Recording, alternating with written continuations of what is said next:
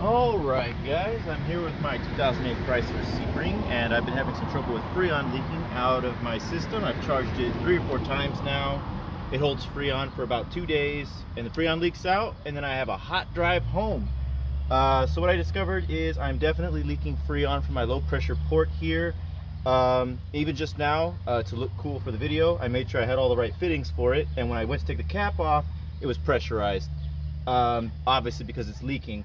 So uh, what I'm gonna do here is normally when you do change a low pressure port out like this, you have to vent the refrigeration system. You cannot vent into atmosphere, that is a crime. You're supposed to use a vacuum bottle and evacuate the refrigeration into the vacuum bottle. And then you're supposed to change the valve and then you're supposed to get all the air out of the system, which requires expensive equipment. And generally people don't own that equipment, so you end up paying a shop, right? Well, I found this nifty little tool on Amazon. Uh, it comes with a 90 degree ball valve, a quick disconnect that fits my fitting, and a valve removal tool that actually fits through the fitting all the way through. And so what I can do with this is I will attach the quick disconnect to the Schrader valve and I will send the tool through the quick disconnect, remove the Schrader valve core, withdraw the valve core through the tool, shut the 90 degree ball valve to seal the system while the valve core is out, and then change the valve core on the tool and use the tool to reinsert it to the Schrader valve. So that's gonna save me a ton of money and time. So let's go ahead and get started. So here's the quick disconnect going on. It fits just like one of those R134 Alpha recharges. Now I've never done this before, so we're gonna see how it goes. So everything should be tight here. It's on real good. So let's send her, bud. Now here I am loosening the core. We're gonna see if, if anything leaks, I'll just tighten it back down. Ooh, it's tight. Ugh.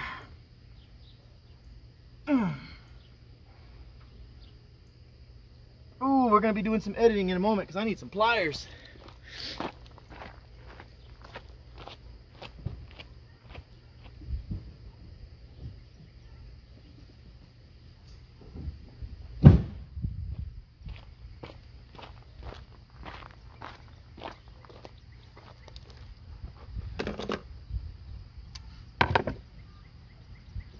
Okay, so this isn't the ideal way, but I need some extra grip here.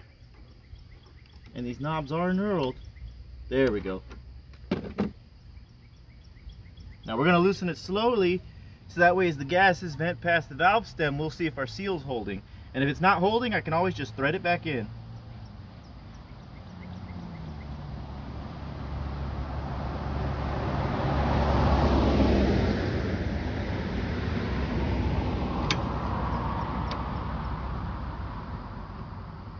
See. This is scary. I can feel it pushing on my hand. It's leaking past the stem of the tool, which is not a huge deal. So at this point, the core should be fully out of the valve. And now we can shut this valve.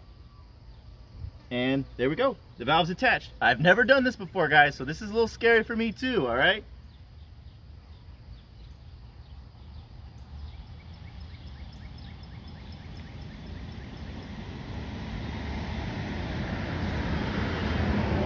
All right. Oh, it looks like our valve core did not come all the way up with our tool. Hmm, all right.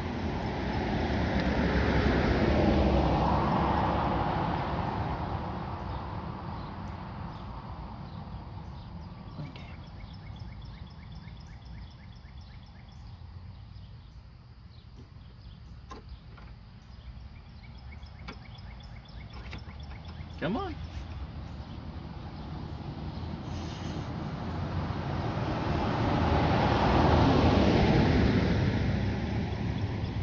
See if we got it this time.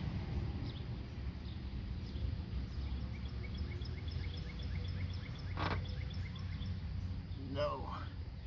Okay.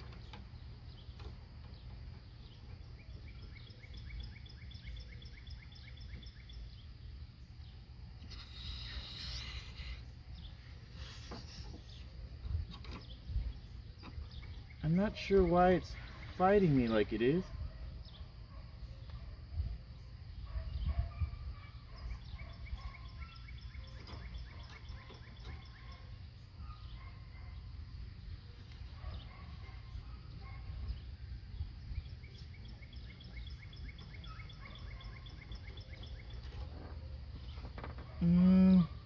So it appears the stem does not want to come all the way up. Oh, I almost forgot to thread it back down. My theory is that it's not threaded quite under the way and it's just really loose. We're gonna find out here though. We're gonna get on it real strong.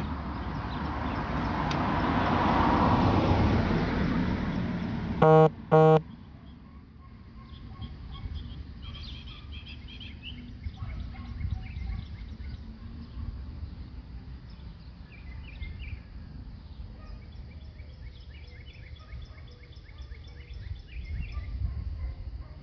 takes some muscle.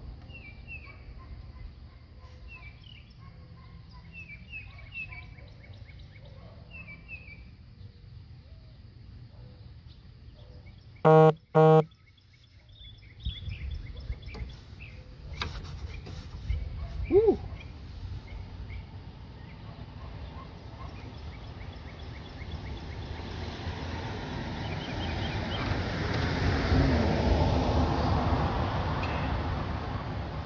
All right, let's sort this out. Okay, so I did cut the video so y'all wouldn't have to watch me struggle. Uh, but the valve core didn't come out quite as easily as I would have liked, but it did come out. Um, it's actually sitting in the tool still. Um, basically, I guess it was just still stuck in there a little bit. And I had to keep just wiggling and finagling until finally uh, it released. Ah, it won't. There. Oh, shit. It fell in. It fell down, which is a problem because I was gonna compare it because I have a whole set of new valves. Hmm.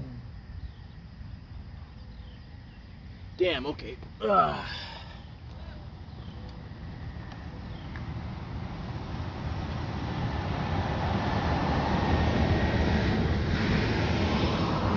Where did that thing go?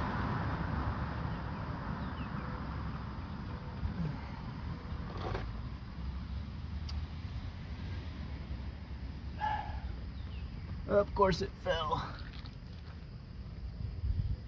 Well, we know it's an R134 alpha valve, so.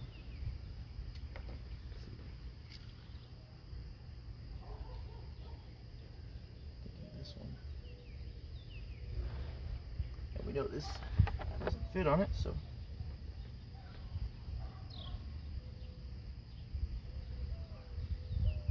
Could. That's okay. I have bought some model specific valves and I just didn't feel like finding them. But because I didn't know that I didn't even know this tool came with its own set of valves, but uh, since I freaking dropped the valve, I guess I'll just dig out the, the correct valves.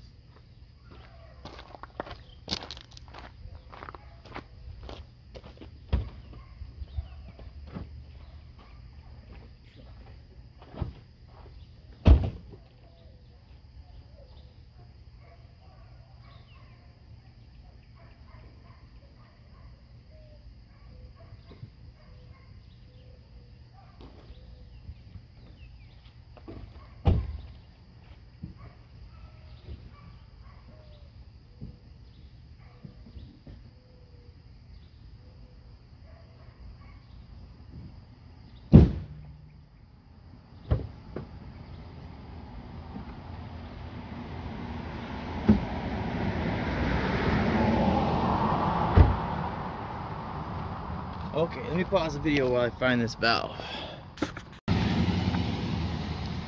So sorry, I had to interrupt the video again to search for the original valve, which fell below the car. I had to move the car.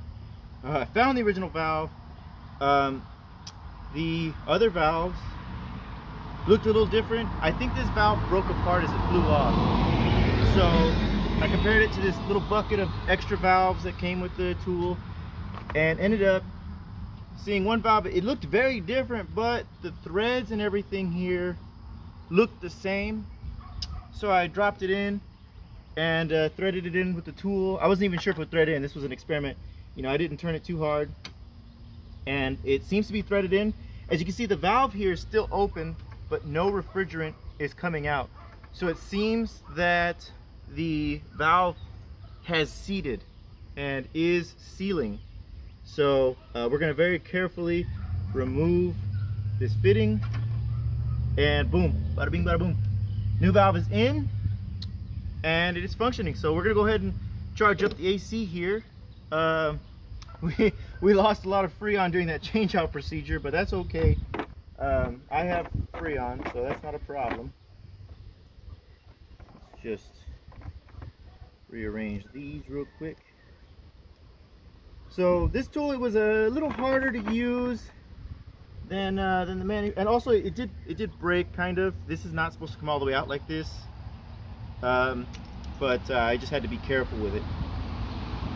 Still, this probably saved me I don't know a few hundred bucks at the shop, and the set was only 20. There's another set that's like $200, but uh, I don't know why you would buy that because it wouldn't uh, save you any money because you'd spend all the money on the tool.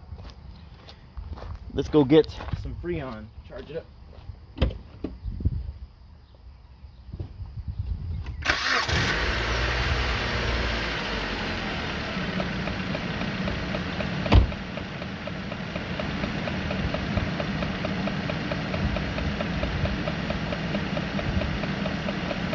I'm certain she's going to be low because quite a lot of Freon shot out of there.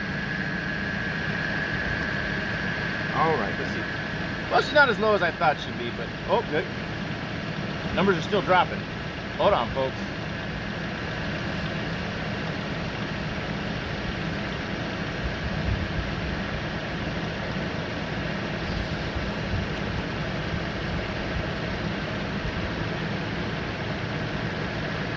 Okay, yeah, she's low.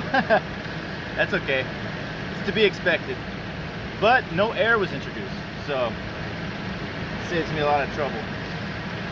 And she's already coming back up pretty quick.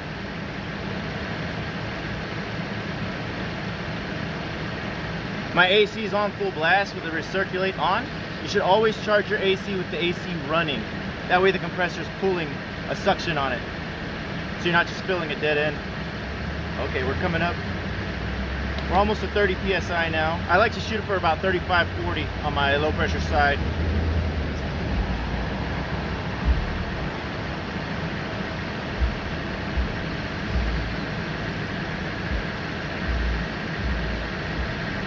And uh, I'll do a soap bubble test once I'm all done with this.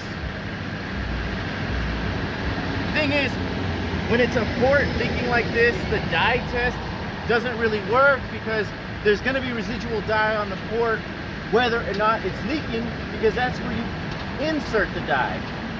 Because I did try a dye test. I had never done one of those before either. But of course there was dye there because that's where it goes in. So I couldn't find the leak, you know?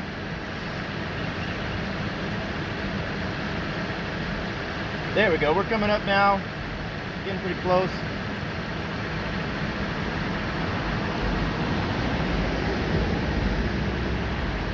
All right, we're looking pretty good. I'm gonna go see how it feels from the inside.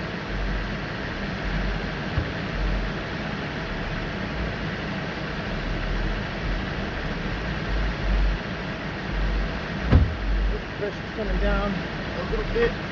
Almost there though. It's, it's pretty cold in there already. Okay, let's go see.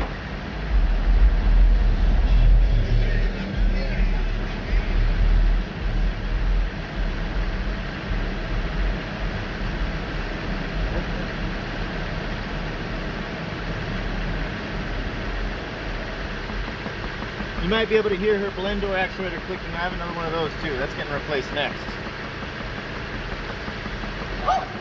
All right. We're just halfway between 35 and 40. Oh, no, we're still ticking down a little bit. Oh! Ooh, we're pulling way down. Ooh. Really? Okay A little more.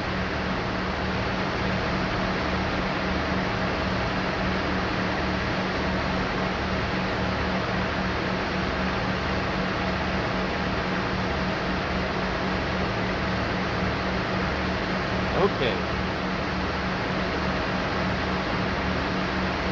Yeah, we're looking good now. So let's see, moment of truth, is it gonna leak? Nope, but I was scared. Before I could feel pressure on my finger when I did this, but now I feel nothing. So it looks like that new valve stem is seating quite well. The air conditioner feels ice cold. Oh, man. It doesn't look like the cap is gonna fit over this new stem.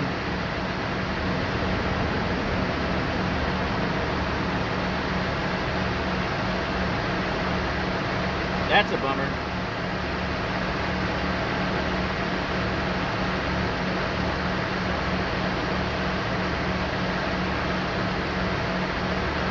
It might actually be damaged from when it overpressurized. Oh well.